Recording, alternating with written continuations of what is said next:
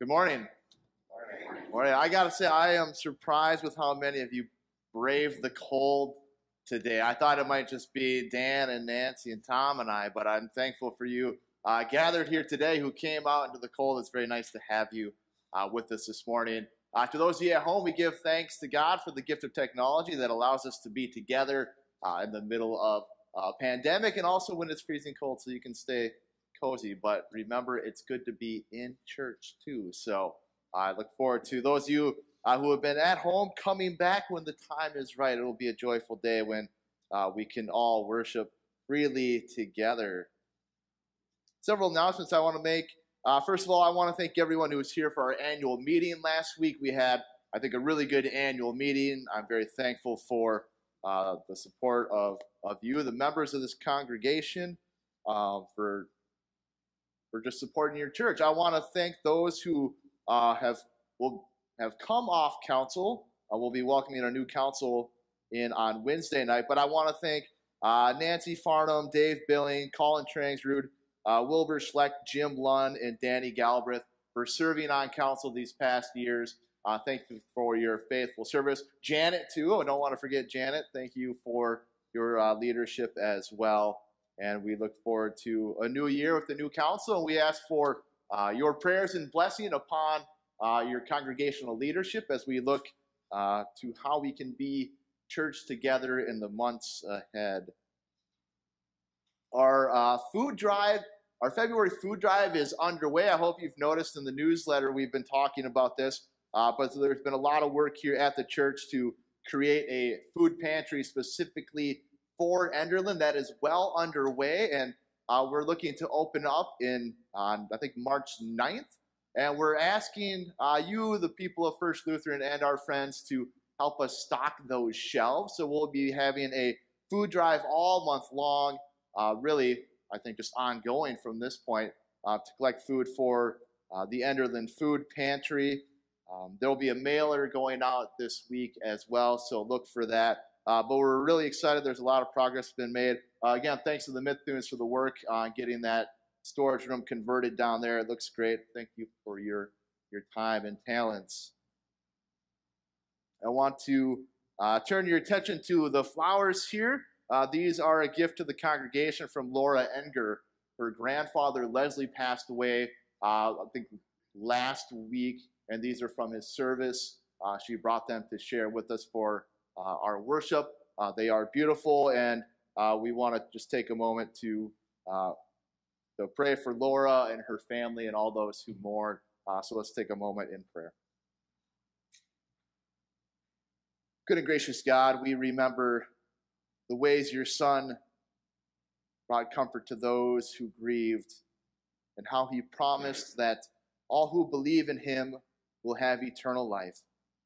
And we give you thanks, Lord, that uh, Leslie Reigard, Laura Enger's grandfather, knows the joy uh, that comes from your presence. We give you thanks that you have wrapped him in your love for all eternity. And we pray, Lord, for all those who are mourning this day, all those who are missing a loved one or a friend. Be there, Lord, to to wipe the tears from their eyes, help them to uh, not only mourn, but to uh, weep tears of joy, for your love is great and endures all things. Be with Laura and her family and all who mourn this day. In your name we pray. Amen. Uh, looking ahead, we'll have Ash Wednesday coming up on the 17th. Again, we'll have two services that day, one at 11 o'clock in the morning and another one at 7 p.m. Uh, imposition of ashes will be available at both with communion to go uh, at the morning service and the option for communion to go or in person at the evening service on Ash Wednesday. And today is, we'll be observing communion today following service for those of you who are here in the sanctuary.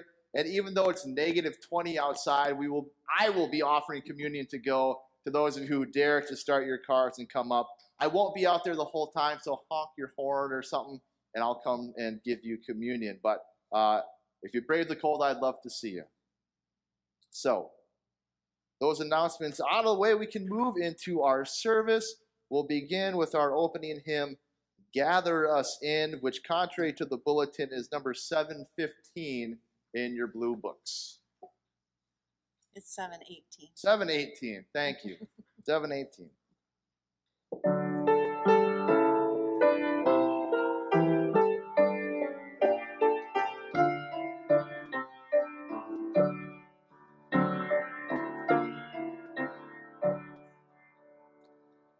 In this place, the light is streaming. Now is the darkness vanished away. In the space of fears and our.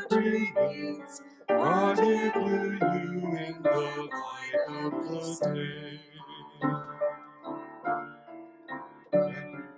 Gather us in, the lost and forsaken.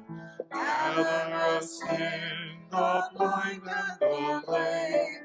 Call to us now, and we shall awaken. We shall arise at the sound of my name.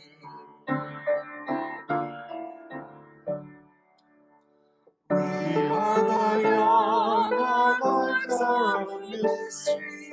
We are the old who yearn for your face. We have been sung throughout all of history, all to be light to the whole human race. Gather us in, the rich and the haughty. Gather us in, the proud and the strong. Give us a heart so weak and so lonely. Give us the courage to enter the snow. Then we will take the wine and the water. Here we will take the bread and new birth. Here you shall call your sons and your daughters. Call us anew to be salt of the earth. Give us to drink the wine of compassion. Give us to eat the bread that is you. Nourish us well and teach us to fashion lives that are holy and lives that are true. Not in the dark of buildings confining, not in some heaven place, the new light is shining. Now is the kingdom, and now is the day. Gather us in and hold us forever. Gather us in and make us your own. Gather us in, all people together. Would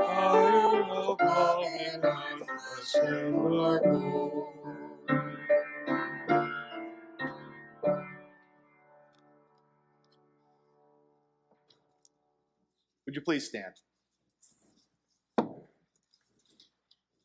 We've gathered this day in the name of the Father, and the Son, and the Holy Spirit. Amen. Almighty God, to whom all hearts are open, all desires known, and from whom no secrets are hid, cleanse the thoughts of our hearts by the inspiration of your Holy Spirit, that we may perfectly love you and worthily magnify your holy name through Jesus Christ our Lord. Amen. If we say we have no sin, we deceive ourselves and the truth is not in us. But if we confess our sin, God, who is faithful and just, will forgive us our sin and cleanse us of all unrighteousness.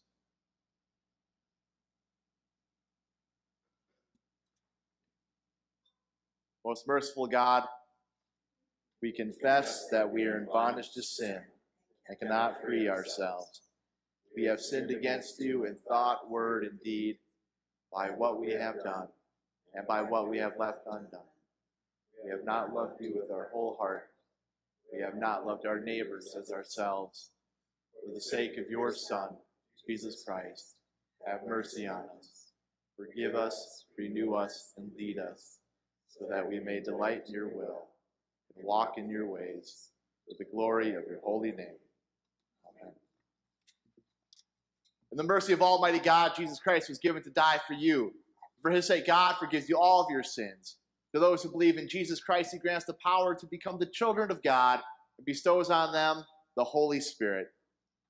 Amen. Dear friends, the grace of our Lord Jesus Christ, the love of God, and the communion of the Holy Spirit be with you all. And also with you. In peace, let us pray to the Lord.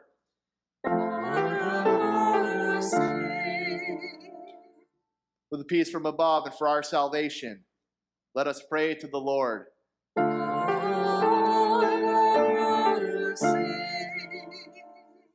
For the peace of the whole world, for the well being of the church of God, and for the unity of all, let us pray to the Lord.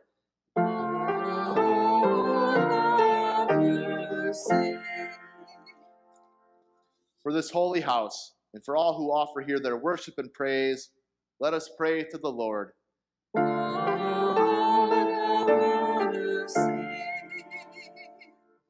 Help, save, comfort, and defend us, gracious Lord.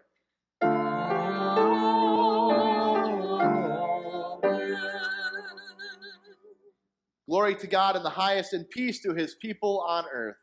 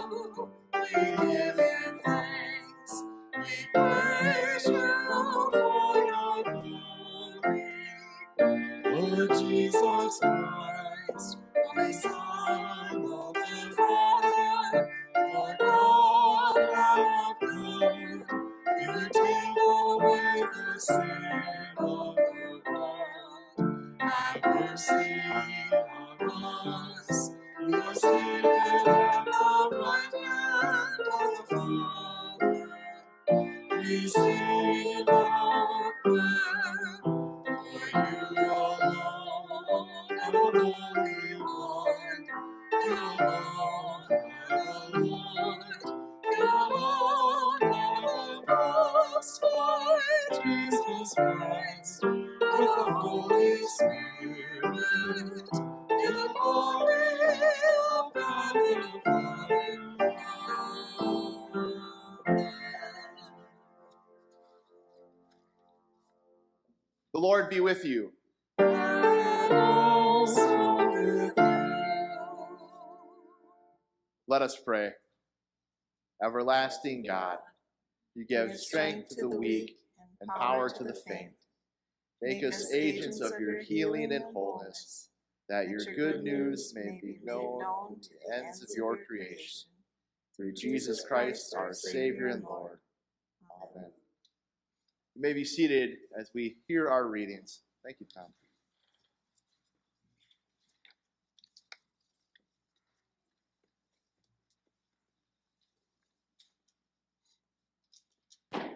Good morning. Our Old Testament lesson for the fifth Sunday after Epiphany is from Isaiah chapter 40. Have you not known? Have you not heard? Has it not been told you from the beginning? Have you not understood from the foundations of the earth? It is he who sits above the circle of the earth, and its inhabitants are like grasshoppers, who stretches out the heavens like a curtain and spreads them like a tent to live in, who brings princes to naught and makes the rulers of the earth as nothing. Scarcely are they planted, scarcely sown, scarcely has their stem taken root in the earth, when he blows upon them, and they wither, and the tempest, tempest carries them off like stubble. To whom then will you compare me, or who is my equal, says the Holy One? Lift up your eyes on high and see. Who created these? He who brings out their host and numbers them, calling them all by name, because he is great in strength, mighty in power, not one is missing. Why do you say, O Jacob, and speak, O Israel? My ways is hidden in, from the Lord, and my right is disregarded by my God. Have you not known? Have you not heard?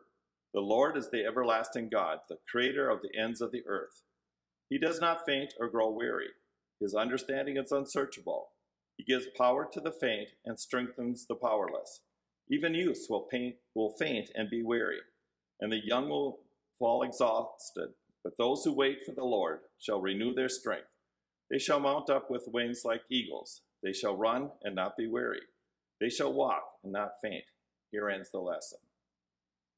Our psalm for today is Psalm 147, verses 1 through 11 and 20. Please respond with the print in bold. It's on the back of your bulletin. Praise the Lord. How good it is to sing praises to our God, for he is gracious, and a song of praise is fitting. The Lord, Lord builds, builds up Jerusalem. Jerusalem. He gathers the outcasts of Israel. He heals the brokenhearted and binds up their wounds. He, determines the number of the stars. He gives to all of them their names. Great is our Lord and abundant in power. His understanding is beyond measure. The Lord lifts up the Downtrodden. downtrodden. He He casts the wicked to the ground. Sing to the Lord with thanksgiving. Make melody to our God on the lyre. He covers the heavens with clouds. Prepares rain for the earth. Makes grass grow on the hills. He gives to the animals their food, and to the young ravens when they cry. His delight is not in the strength of the horse, nor his pleasures in the speed of the runner. But the Lord takes pleasure in those who fear him, in those who hope in his steadfast love. Praise the Lord. Our New Testament lesson is from 1 Corinthians chapter 9. If I proclaim the gospel, this gives me no ground for boasting, for an obligation is laid on me, and woe to me if I do not proclaim the gospel. For if I do this of my own will, I have a reward. But if not of my own will, I am entrusted with a commission. What then is my reward? Just this that in my proclamation I may make the gospel free of charge, so as not to make full use of my rights in the gospel. For though I am free with respect to all, I have made myself a slave to all, so that I might win more of them. To the Jews I became a Jew, in order to win Jews. To those under the law I became as one under the law, though I myself am not under the law, so that I might win those under the law. To those outside the law I became as one outside the law, though I am not free from God's law, but am under Christ's law, so that I might win those who outside the law. To the weak I became weak, so that I might win the weak. I become all things to all people, that I might by all means save some. I do it for all for the sake of the gospel, so that I may share in its blessings. Here ends the lesson.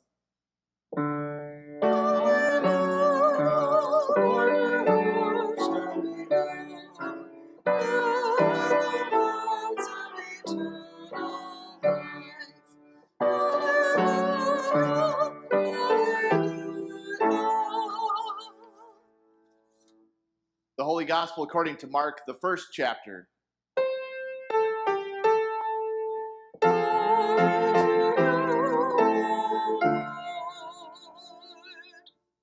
As soon as they left the synagogue, they entered the house of Simon and Andrew with, James and John.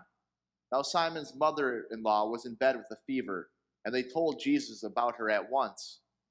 He came and took her by the hand and lifted her up. Then the fever left her, and she began to serve them. That evening at sunset, they brought to him all who were sick or possessed with demons, and the whole city was gathered around the door. And Jesus cured many who were sick with various diseases and cast out demons, and he would not permit the demons to speak because they knew him. In the morning, while it was still very dark, he got up and went out to a deserted place, and there he prayed. And Simon and his, his companions hunted for him. When they found him, they said to him, Everyone is searching for you. Jesus answered, Let us go on to the neighboring town so that I may proclaim the message there also. For that is what I came to do. And he went out through Ga- Galilee, proclaiming the message in their synagogues and casting out demons. The gospel of our Lord.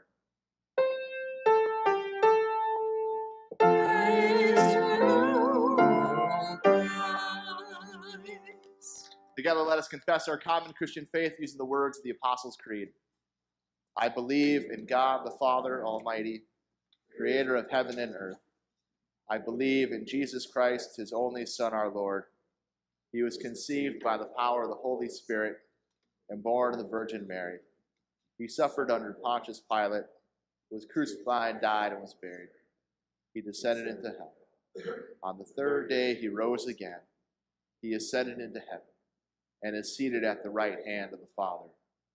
He will come again to judge the living and the dead. I believe in the Holy Spirit, the Holy Catholic Church, the communion of saints, the forgiveness of sin, the resurrection of the body, the life everlasting. You may be seated.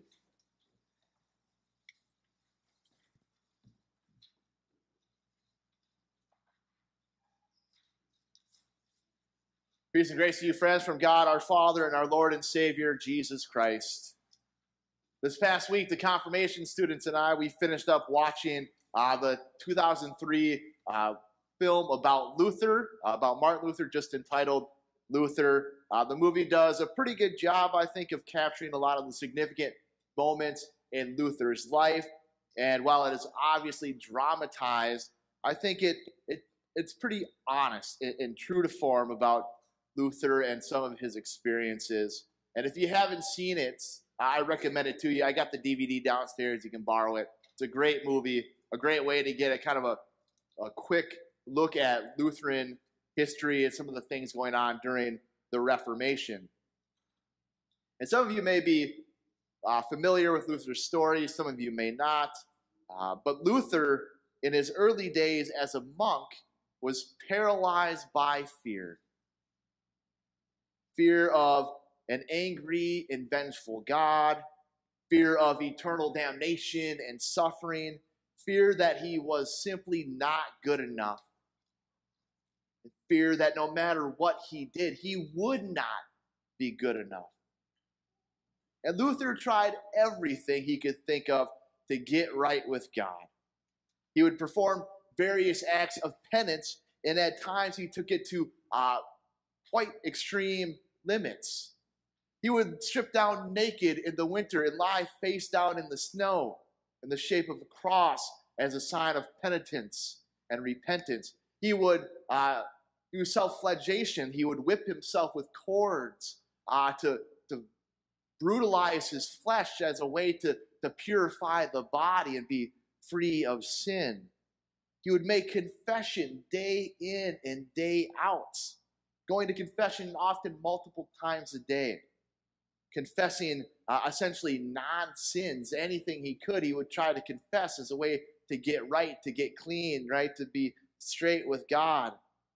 And it got to the point where uh, his confessor, the one he was confessing to, essentially told him to stop. Stop confessing to me. Because these things you are confessing are not really sins.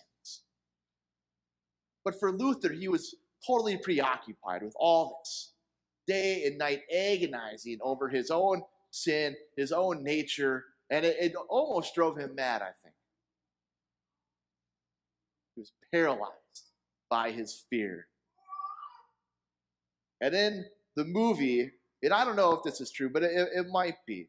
His confessor and the head of the monastery says to him at some point, he hands him the cross from around his neck so if, if you want to know what God is like, look to Jesus. Look to Christ. So when we look at Christ, what do we see? What does the, the Jesus we see in the gospel reveal to us about Christ himself and thus about God? Today's lesson from Mark comes on the heels of what we heard last week.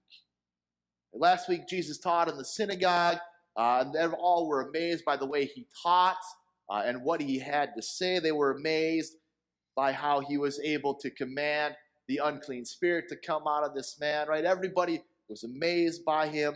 And the gospel today is immediately after that. After they left the synagogue, they go to the house of Simon Peter and Andrew, and his mother in law is there, and she is sick. Jesus uh, lifts her by the hand. Her fever is cured. Right?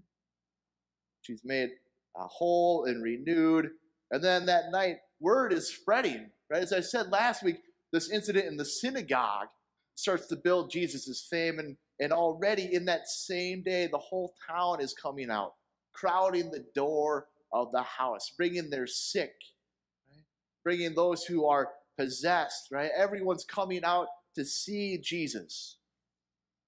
And we find that Jesus restores those who are brought to him. He heals those who are sick, he cures their diseases, he removes those things that are preventing them from living into the fullness of their life.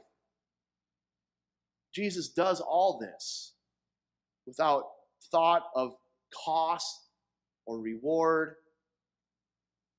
He heals people, He cures people, He restores them without thought of merit or worth. He does it all out of His free grace because it is in His very nature to be this, this healing presence, this restorative presence. The nature of Jesus, His compassion, his grace, His love, and His mercy is the very same nature He shares with the Father and with the spirits, for they are all one Father, Son, and Spirit together. And so, what Jesus reveals to us, we know it to be true about God and about the spirits restoring, healing, invigorating, giving people life and again, and Jesus does all this without thought of merit or worth.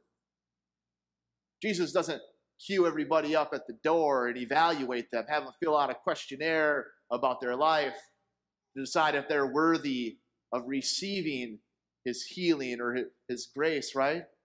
It's a free gift for all people, no matter who they are, no matter what they have done in their life.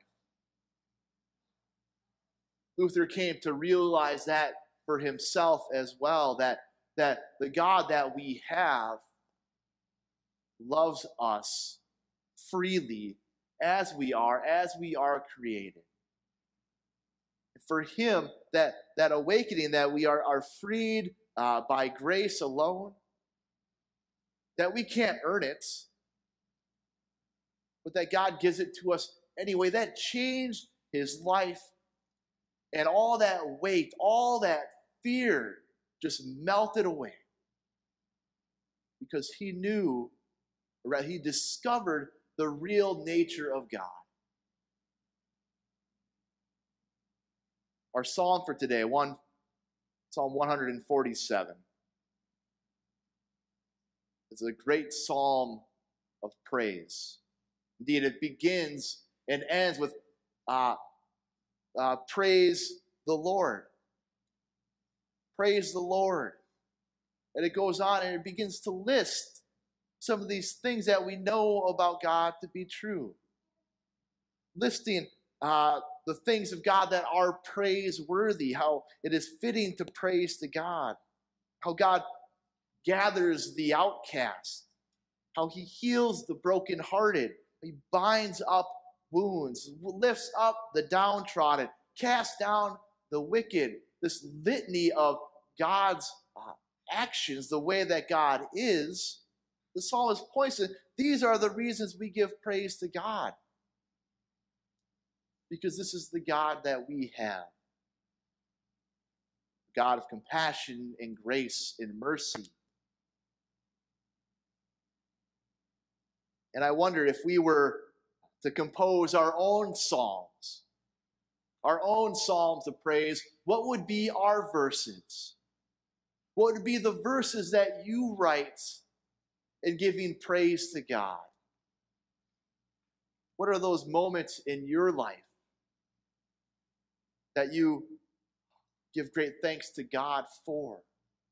What are the things that He has done for you that make you want to uh, either fall to your knees and weep with joy or to jump up and shout in celebration? What are those things for you? Why do you praise the Lord? That's your homework for today, for this week. And I'm, of course, I'm not going to check your work, but I invite you to, to take the time to reflect on those Reflect on the things that cause you to want to give praise to God. And that's that psalm that you write, whether you write it on paper or it's written in your heart, could be short, it could be long, but it'll be your psalm. Your psalm of praise. And I would love, love to hear those psalms. You dare to write, I would love to hear them. I'd love for you to share them. That's part of what we are uh, invited to do as people of faith. It's why the Psalms were written. The psalmist uh, sharing those things that uh, swell in from the, from the depths of their hearts about why this God we have is so good and why it is indeed fitting to sing praise to our God. What is your psalm? What is your praise? Whatever it is, it is fitting and good that you should praise Him. Praise the Lord. Praise the Lord. Praise the Lord, for He is good and His love endures forever. Amen.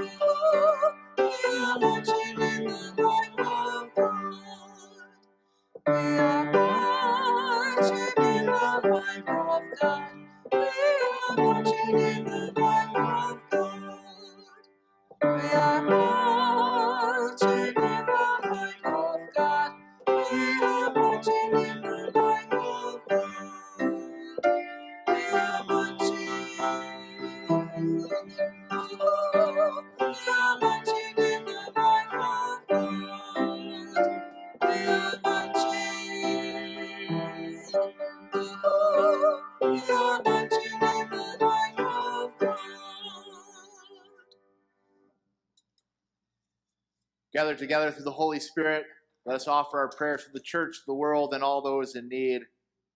Our petitions this day will end with Hear us, O God. Please respond with Your mercy is great. We pray for the church, for ministries of healing and wholeness, for hospital, hospice, and military chaplains, those serving in prison ministry, and for all who proclaim freedom and release in the name of Christ. Hear us, O God. Your mercy is great.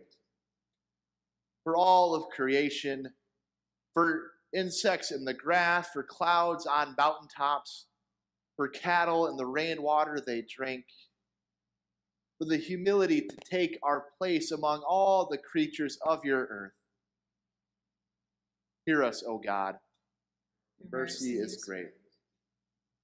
For the nations, for all who lead in cities and towns, states and counties, countries, for community organizers, for school officials, for business and community leaders, for international health organizations that in time of trial, fear, or hopelessness offer a hope and service to those in need. Hear us, O God. Mercy is great. For all wearied by life's burdens, for those who are poor, for those lacking supportive relationships, for those crushed by debt, for those struggling with chronic pain or sickness, for those exhausted from overwork or stress, and for all who cry out to you, especially those we name aloud before you now or silently in our hearts.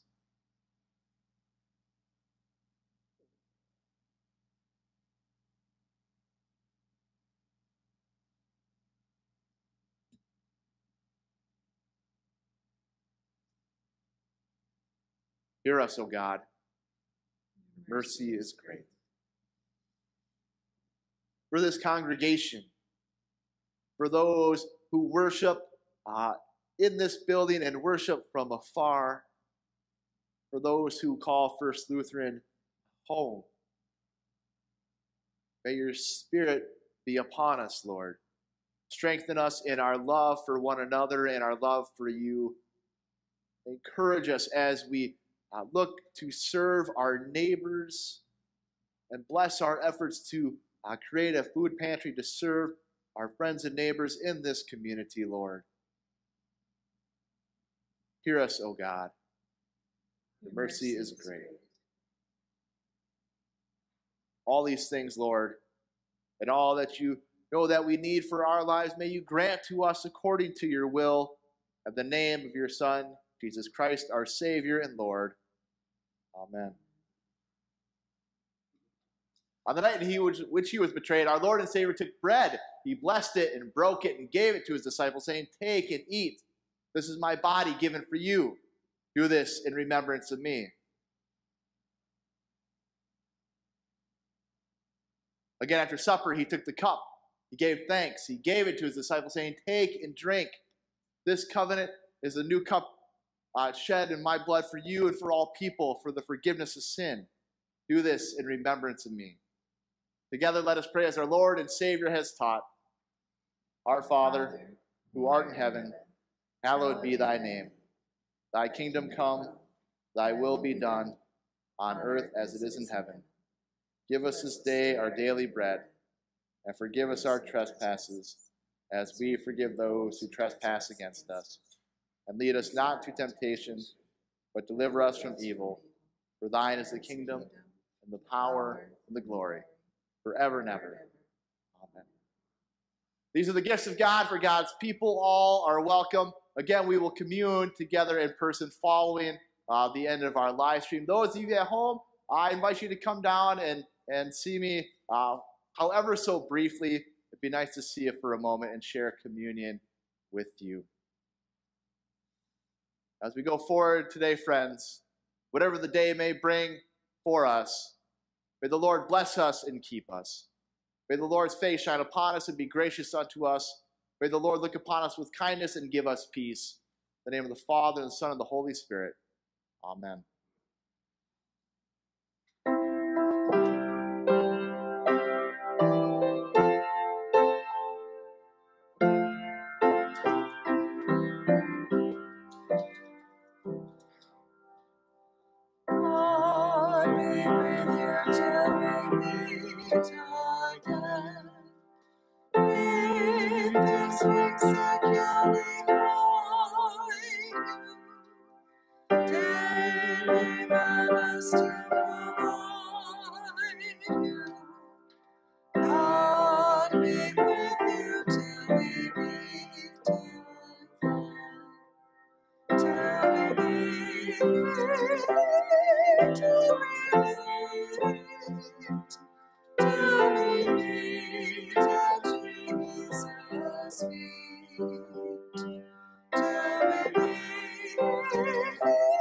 Till we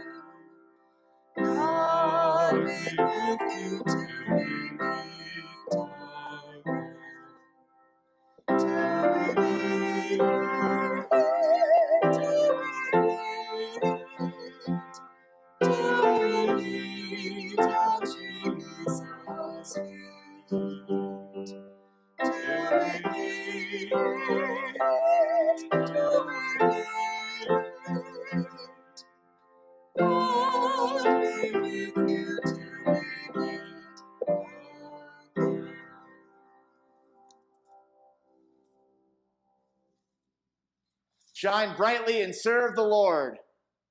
Thanks be to God.